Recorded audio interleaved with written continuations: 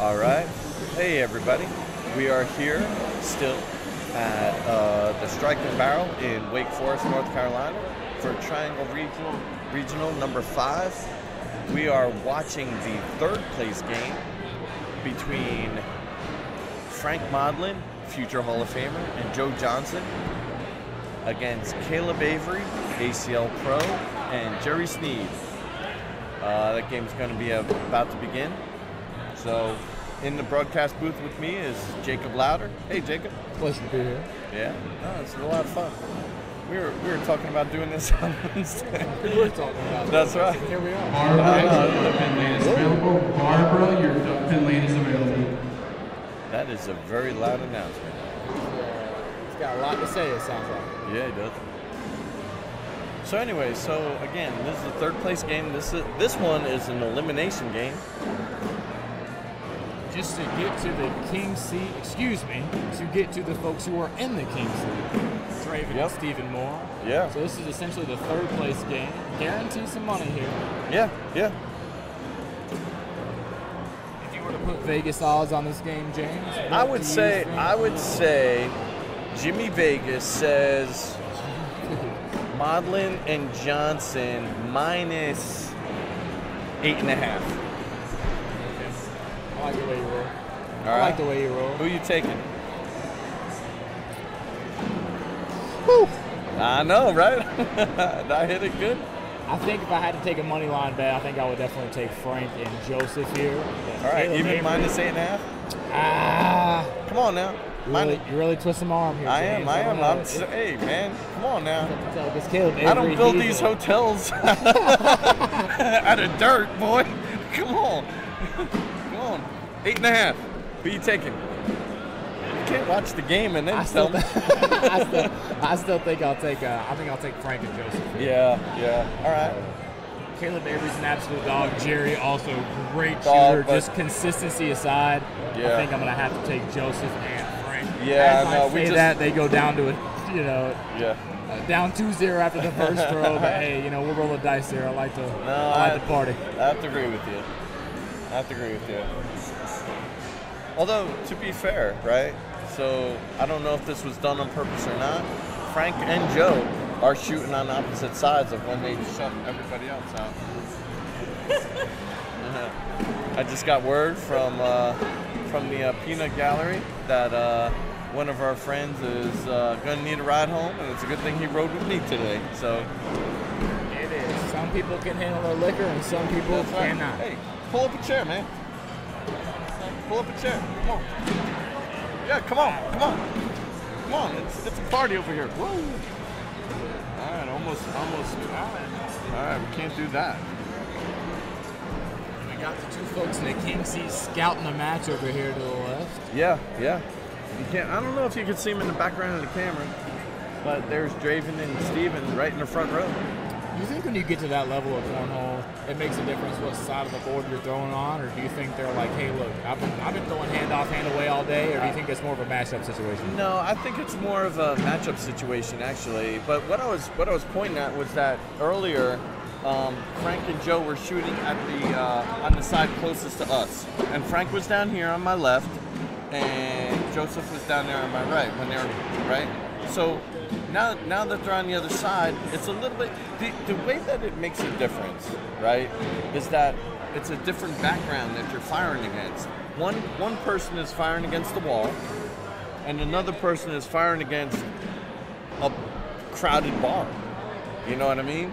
I think in their case, it, it's it's just more of a matchup situation, to be completely honest with you. I mean, you got Frank. I think he wants to, you know, partner up here against Caleb Avery, two ACL pros. I don't Yeah. think uh, I think they've both been on a stage big enough that doesn't concern them to have a bar in the background. Yeah, and then you have point. Jerry, and then you have Joseph there with their kind of wall in the background. I don't think it makes too much of a difference. They're all some stud shooters.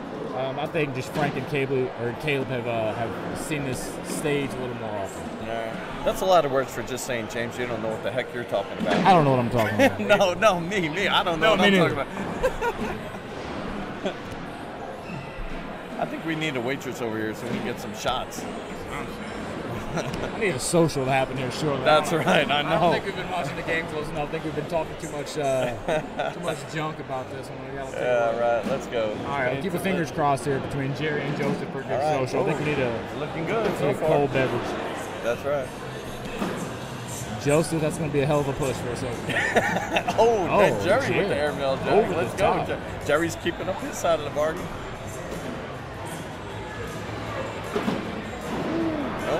No, chance now. Oh my goodness. Wow, Jerry's hot now. That dog is raw. Oh my. James, our eight and a half is not looking too hot. It is not looking too good. So those of you who took the uh, who took the underdog because you know March, March Madness, good good call on your part.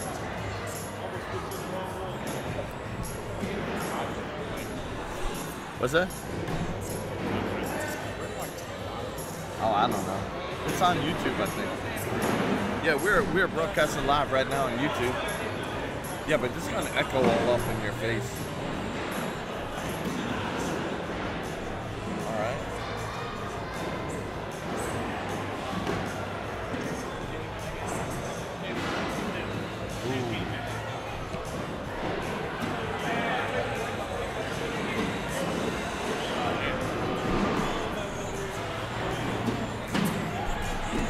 Like we got a 10 to 2 matchup right now. Yeah, well, I mean- Caleb Avery and Jerry up against Joseph.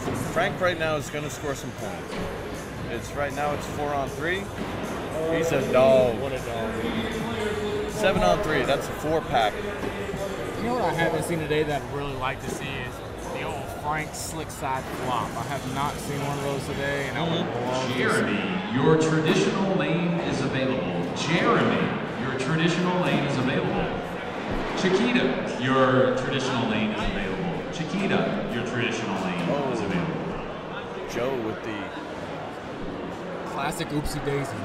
That's right. I believe that's at least six in a row for Jerry. Let's make it seven. Jerry has caught some fire right now. Yep. So he's a perfect example of that whole left hander, right? Left hand over the board that we were talking about earlier today. There we go. We got the old switcheroo, both of them over the board. Yeah.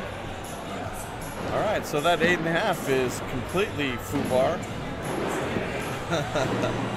All right. Well, I guess technically, no. yeah, that's not a chance. No, it only counts up to 21. No, I know, I know what you're thinking. I know. oh my goodness.